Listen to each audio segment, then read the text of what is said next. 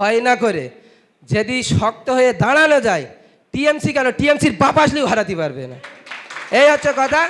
কোনো কর্মী যেন ভয় না করে, আমি যদি বেঁচে ফিরি, তো মনে করবি ভালো। যদি এখান থেকে লাশ হয়ে যায়, তো মনে করি আরও ভালো। যদি আদমারা হয়ে ফিরি, বুঝতে পারবি তোর কপালে দুঃখ আছে। বিধায়ক, ওনাদের বিধায়ক এসে বলে, ভোটগুলো উঠি দিয়ে দে। একজন বলছে, স্যার, এটা বেআইনি। তাকে খিস্তি করে বলা হলো, আইন আমাকে শেখাচ্ছিলাম তার ভিতরে আমরা দুজনাই জয়ী হই সিপিএমের গেয়ার ছিল করে আমরা খুব কষ্ট করেই বার হয়েছি। আমাদের ওপর নেতৃত্ব যদি শক্ত হয় বলেছে যার যার কাউন্টিংয়ে শিক্ষিত লোক দাও। আমাকেও বলে যারা শিক্ষিত লোক দিও। আমি শিক্ষিত লোক দেবো আর তুমি ওর ভিতরে গিয়ে বলবে দু লাখ টাকা দেবো পুলিশের চাকরি দেবো বলে আমাদের ক্যান্ডিডেট হার করিয়ে বাড়ি আসবে ওরকম করলে হবে না। যার লড়াই তাকেই করতে হবে? সালামু আলাইকুম। আজকে আমাদের যে আইএসএফের ইন্ডিয়ান সেকুলার ফান্ড বিশাল কর্মী সম্মেলন। সেই হিসেবে আমাদের এই ডাকা হয়েছিল। আমরা তো যেহেতু মাইক ধরি না ধরতে হবে। কথা হচ্ছে আমরা যারা আইএসএফটা করি, একটাই নেতার উদ্দেশ্য করে করছি, সেটা হচ্ছে আমাদের নওশাদ সিদ্দিকী ভাইজান। নওশাদ সিদ্দিকী ভাইজান প্লাস আমাদের অঞ্চল কমিটি আছে, আমাদের শামীম ভাই, ব্লক সভাপতি তোমার সালাম ভাই। তাদের নেতৃত্বে আমরা খুব কষ্ট করেই লড়াই করতে হয়েছে। যেহেতু আমাদের সব নতুন। যা একটা ফর্ম ফিল আপ বলো, তোমার কাউন্টিং এজেন্ট বলো, অনেক কিছুই খুব কষ্টভাবেই করতে হয়েছে। যেহেতু আমাদের পাশে অত লোক ছিল না, জানি আমাদের ওপর নেতৃত্ব আছে, কিন্তু এখনও পর্যন্ত নেতৃত্ব ভালোভাবে আমরা পাইনি। আমাদের লড়াইটা নিজের কর্মীদের নিয়ে খুব শক্তভাবেই লড়াই করতে হয়েছে। যখন আমরা কাউন্টিংয়ে আসি, আমাদের কাউন্টিং থেকে দেওয়া হলো একজন করে এবং আমাদের পঞ্চায়েত কমিটিকে বলেছিলাম যে আমাদের দু একটা করে কাউন্টিং বাড়ানো হোক। যেহেতু আমরা বিরোধীর কথা শুনতে পাচ্ছি, ওদের লোকজন বেশি ঢুকবে। আমাদের ওপরে আক্রমণ হতে পারে। বলো না, ওরকম কোনো সিস্টেম নিয়ে একটা একটা করেই যাবে। যথারীতি আমরা কাউন্টিংয়ে নিজে নিজে দায়িত্বে ঢুকেছি। সিবিএম আমাদের সাথে ছিল। তারা যথেষ্ট পারে হেল্প করেছে, আমরা নিজেরাই গিয়েছি। যখন আমরা কাউন্টিংয়ে আছি কাউন্টিং শুরু হয়েছে, আমাদের ওখানে আমার পাঁচ নম্বর বুথে তিনটে ক্যান্ডিডেট একটা আম ছিল, খাম আছে আর টিএমসি যেহেতু আমরা আমের সাথে অতটা আমাদের সংযোগ নেই, কিন্তু ভালোবাসাটা ছিল।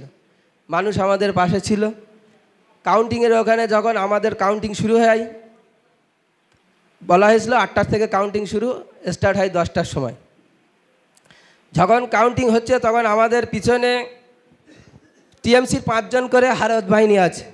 কিন্তু আমাদের এক একটা কর্মী বাঘের মতো। যারা পেরেছে, তারা জয়ী হয়েছে, যে হাল ছেড়ে দিয়েছে, হার হয়েছে। কিন্তু আমি যখন প্রথম দশটা কাউন্টিং শুরু হয়, তখন আমাদের, আমার র্যাডারে ঝাপাচ্ছি সাতটা আমাদের জয়েন্ট ক্যান্ডিডেট জিত হচ্ছে। ওখানে এমএলএ রনি ঢোকে। নাম করেই বলছি। ঢুকে যখন প্রিসাইডিং অফিসারের ওপর পেশা সৃষ্টি করে, তখন আমাদের পিছনে যারা ছিল, তারাও খুব অত্যাচারিত করে। করলে আমার পিছনে পাঁচজন লেগেছিল, আমি বলেছি, আমি একা ঢুকেছি, তোরা পাঁচজন আছিস। আমি যদি বেঁচে ফিরি, তো মনে করবি ভালো। যদি এখান থেকে লাশ হয়ে যায়, তো মনে করি আরও ভালো। যদি আদমারা হয়ে ফিরি, বুঝতে পারবি তোর কপালে দুঃখ আছে। বলার পরে অনেক কষ্ট সৃষ্টি করে একশো বারো ভোটে আমার লিড হয়। লিড হওয়ার পরে আমরা আস্তে যখন সার্টিফিকেটটা নেব, তখন অলরেডি হানাহানি শুরু হয়ে গেছে। যাদের ছ ভোটে হার, সাত ভোটে হার, তাদের এক এক করে বিধায়ক, ওনাদের বিধায়ক এসে বলে, ভোটগুলো উঠি দিয়ে দে। একজন বলছে, স্যার, এটা বেআইনি। তাকে খিস্তি করে বলা হলো, আইন আমাকে শেখাচ্ছিস? এ তোরা কি ফাঁকাই বার হবি না?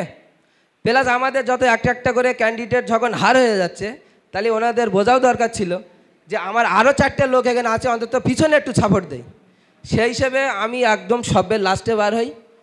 আমি চাকি, আমার ইন্তেজ ভাই থাকে। আমরা দুটো ওখানে আইএসএফের ক্যান্ডিডেট ছিলাম। তার ভিতরে আমরা দুজনাই জয়ী হই। সিপিএমের গেয়ার ছিল। করে আমরা খুব কষ্ট করেই বার হয়েছি।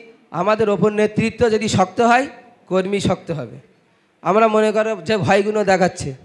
তোদের জেলে ভরে দেবো, তোদের তুলে দেবো। সেই হিসেবে আমরা আমাদের সংগঠন জোরের মাধ্যমে খুব কষ্টের সাথে ওখান থেকে জ- জয়ী প্রার্থী ঘোষণা করা হলো, সেই হিসেবে আমি বলতে চাই, প্রত্যেক যত কর্মী আছে, ভয় না করে। যদি শক্ত হয়ে দাঁড়ানো যায়, টিএমসি কেন? টিএমসির বাপ আসলেও হারাতে পারবে না। এই হচ্ছে কথা। কোনো কর্মী যেন ভয় না করে, আমাদের লোকসভাটাকে এগোতে হবে। যে যার বুধে আমাদের তো একটাও হার নেই। হার বলতে আমাদের নজরে নেই, আমাদের কাছ থেকে কেড়ে নেওয়া হয়েছে। যদি একটু শক্ত হতো অনেকে আবার এও বলেছে, যার যার কাউন্টিংয়ে শিক্ষিত লোক দাও। আমাকেও বলেছে, একটা শিক্ষিত লোক দিও। আমি শিক্ষিত লোক দেবো, আর তুমি ওর ভিতরে গিয়ে বলবে, দু লাখ টাকা দেবো, পুলিশের চাকরি দেবো। বলে, আমাদের ক্যান্ডিডেট হার করিয়ে বাড়ি আসবে, ওরকম করলে হবে না। যার লড়াই তাকেই করতে হবে? যার লড়াই সে করো, হয়ে যাবে। তাই বলি, আগামী দিনই আমরা, বয়স হয়তো কম অনেক দিন ধরেই সংগঠন করি, তার থেকে আমরা জানি না যে আমাদের এত দূর পর্যন্ত আসতে হবে। কিন্তু ভাইজানের নেতৃত্ব এসছি আগামী দিন চাইলেই জাহান যাই যাবে, কিন্তু রাজনীতি যাবে না। ভাইজান যতদিন আছে, আমরা ততদিন থাকব। এই বলে আমি আমার সংক্ষিপ্ত বক্তব্য শেষ করলাম। ধন্যবাদ জানাব ভাইকে। ভাই, এই ঘরে এবং বিভিন্ন